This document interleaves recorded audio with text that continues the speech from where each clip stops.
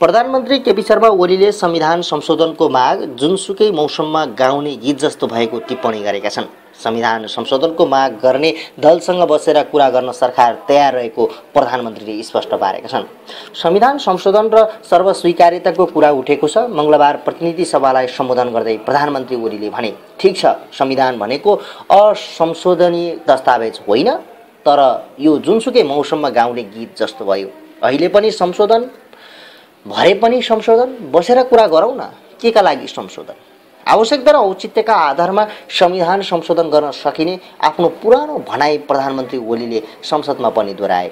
सरकारको नीति तथा कार्यक्रममाथि सांसदहरूले उठाएको प्रश्नको जवाब दिने क्रममा रोष्टमा उभिएका प्रधानमन्त्री ओलीले भने संविधान अशोभनीय दस्तावेज होइन। यसमा संशोधन गर्नुपर्ने ठाउँहरू हुन्छन्। दुई हजार बहत्तर साल मङ्सिरमा सुशील कोइरालाका पालामा पहिलो संशोधन भएको थियो। यति भएपछि पुग्ने भनेर संशोधन गरिएको हो तर भएन। प्रधानमन्त्री ओलीले औचित्य र आवश्यकताका आधारमा संविधान संशोधन हुन सक्ने बताए। उनले भने तर एउटा स्टेकरको लागि मात्र होइन देशका लागि जनताको एकताका लागि सुदृढ गर्ने साम्प्रदायिक विद्वेष खत्तम गर्ने उद्देश्यका लागि जहिले पनि संशोधन हुन सक्छ। तर अहिले सार्वजनिक खपतका लागि संविधान संशोधनको कुरा उठिरहेको प्रधानमन्त्री ओलीले दावी गरे। राजापा लगायतका नेताहरूले संसदमा उठाएको प्रश्न जवाब दिने प्रधानमन्त्री ओलीले भने यो पब्लिक कन्जम्सनका लागि जस्तो भयो। संशोधन गर्न नसकिने होइन तर यो कुनै लहरको विषय होइन। अनावश्यक ढङ्गले उछालिरहेको विषय पनि होइन। विभिन्न दलका भनाइहरू के हुन् त्यसमा छलफल गर्न सक्ने बताउँदै प्रधानमन्त्रीले भने तर राम्रो उद्देश्यका लागि हुनुपर्छ। राष्ट्रिय जनता पार्टीले संविधान संशोधनको मुद्दा उठाउँदै आइरहेको छ। सरकारमै रहेको उपेन्द्र यादव नेतृत्वको समाजवादी पार्टीले पनि संविधान संशोधन हुनुपर्ने बताउँदै आएको छ। सरकारले ल्याएको नीति तथा कार्यक्रममा संविधानमा सर्वस्वीकार्यता रहेको उल्लेख भएपछि त्यसमा आपत्ति जनाउँदै राजापाका नेताहरूले संविधानमा आफ्नो असहमति कायम रहेकाले संविधान संशोधन हुनुपर्ने अडान राखेपछि प्रधानमन्त्री ओलीले यस्तो जवाब दिएका हुन्।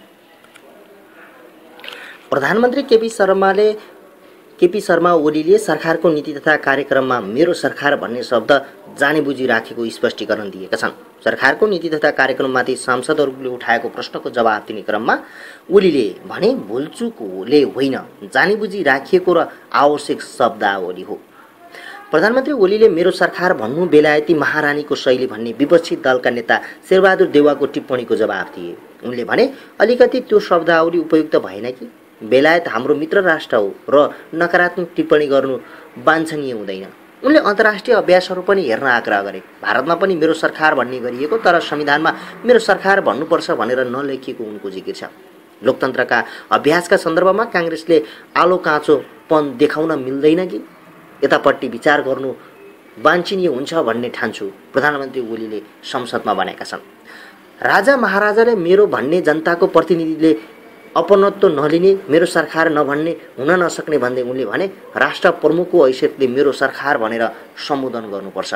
नीति तथा कार्यक्रमको आलोचना गर्नेहरू सामान्य कुरामा बढी बल लगाइरहेको र त्यो खनियो पहाड त्यो खनियो पहाड निक्लियो मुसा जस्तो हुने उनको भनाइरहेको छ। यसैबीच प्रधानमन्त्री केपी शर्मा ओलीले आक्रोश कुण्ठा र निम्छरो अभिव्यक्तिहरूलाई वास्ता नगरेर प्रश्नहरूको जवाब दिन्छु भनेपछि संसदमा हङ्गामा मचिएको छ। प्रमुख विपक्षी दल काङ्ग्रेसका सांसदहरूले संसद अवरुद्ध गरेका छन्।